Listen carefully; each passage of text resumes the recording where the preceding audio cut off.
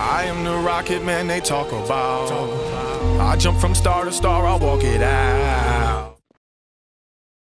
Hey guys, my name is Shibby2142. Let's continue with the smoking is good idea, battlefield tips in one minute or less. Still using it, of course, but spot enemies through it. So what you need to do is just pull out your gun, probably aim down the sights, that would be your best bet, and then you can kind of move your crosshair back and forth, and you will be able to see when their Doritos, that's what I like to call them, or diamonds pop up, and feel free to shoot your enemies, you know, if you want. You don't have to, if you're more of a pacifist on Battlefield, and you only like reviving your team or just providing support in other ways, that's totally cool. But this is just one helpful tip if you like using that smoke launcher, which does replace your health pack, so you need to be careful. So use it in the right scenarios, not just all the time.